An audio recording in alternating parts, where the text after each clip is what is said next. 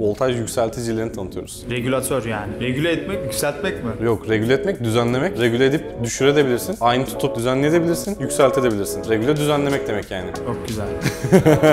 Kısa bilgiden sonra. Tamam, hadi bakalım.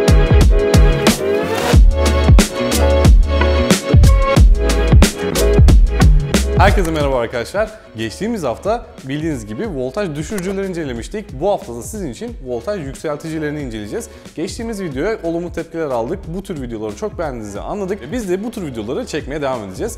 Dolayısıyla da bu hafta voltaj yükseltici kartları inceliyoruz. Şimdi isterseniz hemen videonun detaylarına geçelim. Projelerimizde yeri geldiğinde voltajı düşürmemiz gerektiği gibi yeri geldiğinde de var olan voltajı yükseltmemiz gerekebilir. Özellikle mobil bir proje yaparken düşük kaynak voltajıyla çalışacak bir projeyle çalışırken voltaj yükseltici kartları kullanarak kartımızın ihtiyacı olan voltajı elde edebiliriz. Peki burada neden bahsetmek istiyoruz? Özellikle pil gibi kaynaklarla çalışacaksanız pilin bildiğiniz gibi işte lipo pillerde, liyon pillerde 3.7 volt işte 4.2 arasında bir voltaj değeri var.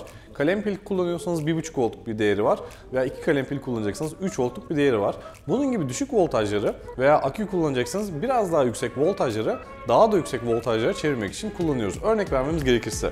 Normalde şu lipo pilden biz 4.2 ile 3.7 arasında çıktı alabiliyoruz. Voltaj değeri çıktısını alabiliyoruz. Ama biz bu voltaj değerini 12 volta yükseltmemiz gerektiğinde artık voltaj yükseltici kartları kullanmamız gerekiyor. Tabii ki bu voltaj yükseltici kartları seçerken de düşürücüler gibi bazı kriterlere dikkat etmemiz gerekiyor. Bunlar giriş voltajı, çıkış voltajı ve verebildiği akım. Şimdi tek tek kartları inceleyelim ve bu değerleri bir göz atalım. Voltaj yükseltici kartlarımızı 3'e ayırdık. Bunlar çıkışı sabit yani çıkışta herhangi bir ayarlama yapamadığınız kartlar. Yine yükseltici görevini yapıyor ama çıkış voltajı sabit olanlar. İkinci grup çıkış voltajı ayarlanabilenler. Üçüncü grup ise çıkış voltajı ayarladığınızda giriş voltajı değişse de çıkış voltajı sabit tutanlar yani buck konvertör kartı. Eğer voltaj düşürücü kartlarla ilgileniyorsanız da yukarıya tıklayın hemen o videomuza gidebilirsiniz. Şimdi ilk grubu incelediğimizde iki tane birbirine çok benzeyen kart var.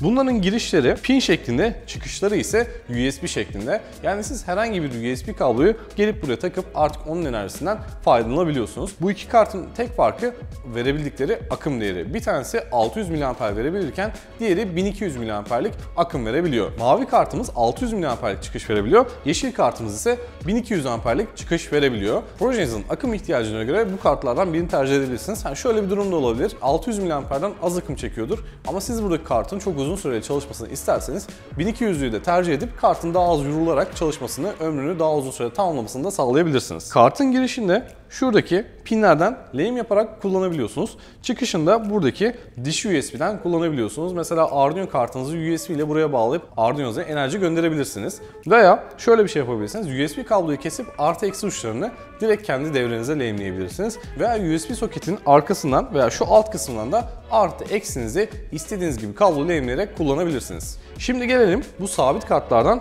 küçük olanına. Boyutları bayağı küçük olan bu kart aslında bize bayağı bir fayda sağlayacak bir kart. Bu kartın küçük olduğuna bakmayın görevi gerçekten çok büyük. Çünkü 0.5 volt ile 5 arasındaki girdiğiniz voltajı 5 volta sabitliyor ve boyutu küçük olmasına rağmen 1200 mAh'e kadar size akım değeri verebiliyor. Yani aslında şu kartın yaptığı işlevin aynısını yapabiliyor. Sadece üzerine kullanılan komponentlerden dolayı tabii ki bu kart belki bir tık daha dayanıklı olabilir. Ama eğer projelerinizde özellikle çok küçük alanlarda çalışacaksanız küçük olan kartı tercih etmenizde fayda var. Şimdi gelelim ikinci grubumuzdaki kartlara. Giriş voltajı 1.5 voltla 16 volt arasında giriş yapabiliyorsunuz ve çıkış voltajı olarak da 4 voltla 25 volt arasında çıkış alabiliyorsunuz. Ve bu voltaj seviyelerinde 2 ampere kadar sizin devrenizi destekliyor ki bu da gayet iyi bir rakam. Diğer bir voltaj yükseltici kartına geldiğimizde yine üzerinde pot yardımıyla çıkış voltajını ayarlayabiliyorsunuz ve giriş voltajı 3.5 voltla 32 volt arasında değişebiliyor. Çıkış voltajı ise 5 voltla 36 volt arasında değişebiliyor. İhtiyacınıza göre üzerindeki pottan ayarlayabiliyorsunuz. Bu kartın en iyi yanlarından bir tanesi verebildiği amper değeri. Çıkış tarafında 4 ampere kadar devrenizi destekliyor ve özellikle e, kontrolcüler dışında motor veya farklı bir aktivatör gibi yüksek akım çeken şeyler kullanıyorsanız bu kart gerçekten projenizde size bayağı bir yardımcı olacak. Eğer projenizde daha fazla akıma ihtiyacınız varsa mesela 10 amper kadar o zaman buradaki en büyük kartımızı kullanmanız gerekiyor. Bu kartın üzerinde bir de display var. Bu display sayesinde giriş ve çıkış voltajlarını şuradaki butonlar yardımıyla bakarak görebiliyorsunuz. Ve kartın yanına bir adet de soğutucu geliyor. Çünkü 10 amperlik bir değeri size sağlaması için buradaki entegreler birazcık ısınacaktır tabii ki. Bu sayede arkasındaki çift taraflı bantla bunu hemen entegrenin üstüne şu şekilde yapıştırıp yapıştırarak kullanabilirsiniz. Eğer kartı çok zorlayacaksanız ve kartınız biraz ısınıyorsa isterseniz üzerine bir fan yerleştirip soğumasını da sağlayabilirsiniz. Bu da ekstra bir seçenek. Bu kartın 3.5 volt ile 30 volt arasında bir giriş gerilimi mevcut ve çıkış olarak da size 3.5 ile 30 arasında yine bir seçenek sunuyor. Yani 5 volt verdiğinizde çıkıştan siz 30 volta kadar yükseltip kullanabilirsiniz. Şimdi gelelim buck konvertörü. Bu buck konvertörü demesinin içerisinde hem yükseltici hem düşürücü bulundurmasından kaynaklanıyor. Bu sayede mesela giriş voltajınızı 5 volt ayarladınız, çıkıştan 30 alıyorsunuz. Giriş voltajınız dalgalansa bile çıkış voltajınız değişmiyor. Bu sayede aslında özellikle girişe dinamo bağlayıp çıkıştan sabit voltajla bir yeri şarj etmek için kullanabilirsiniz. O yönden çok kullanışlı bir kart. Giriş gerilimi 4 voltla 35 volt arasında değişebiliyor ve çıkış gerilimi de 1.25 ile 25 volt arasında değişebiliyor ve çıkıştan 4 ampere kadar size akım sağlayabiliyor. Bu kartı kullanırken eğer kart üzerindeki şuradaki entegrelerde ısınma gözlemlerseniz buralara küçük soğutucu modüller yerleştirmenizi tavsiye ederiz. Bu da sizin kartınızın uzun ömürlü olmasını sağlayacaktır. Eğer bu kartı solar panellerle kullanacaksanız giriş geriliminin çıkış geriliminden en az 1.1 kat fazla olduğundan emin olun. Hem solar panelinize zarar gelmesin hem de kartın biraz daha verimli çalışmasını sağlayabilirsiniz. Özellikle bu tip şarj devrelerinde veya giriş geriliminin çok dalgalandığı yerlerde bu kartı tercih etmenizi öneririz. Size büyük kolaylık sağlayacaktır. Bu kartla solar panel kullanabileceğiniz gibi LED driver olarak da kullanabiliyorsunuz. Bunu yapabilmek için tabii ki çıkıştaki akımı sınırlamanız gerekiyor. Yine üzerindeki potlar yardımıyla bu akımını sınırlayıp ledlerinizi de rahatlıkla sürebilirsiniz. Voltaj yükseltici kartları dediğim gibi özellikle mobil projelerde bizim çok işimizi çözecek. Bu ne anlama geliyor aslında? Siz bir tane kalem pille buradaki voltajı yükseltip 12 voltta veya 5 voltta çıktı alabilirsiniz. Tabii ki normal kalem pil kullanacaksanız verebildiği akım düşük olduğundan dolayı biraz daha performanslı şarjlı pillere kaymanız gerekebilir. Veya giriş gerilimini yükseltip giriş tarafından çekilen akımı azaltabilirsiniz. Bu da şu anlama geliyor. 3 tane kalem pili birbirine seri bağlayıp 4.5 volt veya 2 tane kalem pili birbirine bağlayıp 3 volt elde edip biraz daha pillerden az akım çekilmesini sağlayabilirsiniz. Buradaki temel mantık giriş gücünün çıkış gücüne neredeyse eşit olması. Bir kısmı tabii ki regülatör üzerinde harcanıyor ama aşağı yukarı eşit sağlarsanız girişteki çıkıştaki akımları bulabilirsiniz. Peki bu güçler nasıl hesaplanıyor? Giriş voltajı çarpı giriş akımı size girişteki toplam gücü verecek.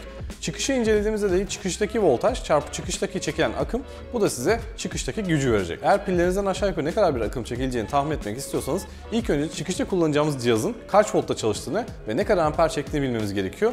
Bu iki değeri çarpıp gücü elde ettikten sonra giriş voltajına böleceğiz. Bu sayede girişten çekilen akımı da bulabiliriz. Projenizde tekselli lipo, kalem pil veya yine tekselli bir lityum iyon pil kullanacaksanız voltaj regülatörleri size büyük kolaylık sağlayacaktır. Nerede, neredeyse ortalama olarak 30 volta kadar buradan bir voltaj değeri elde edebiliyorsunuz. Bu da çok iyi bir değer.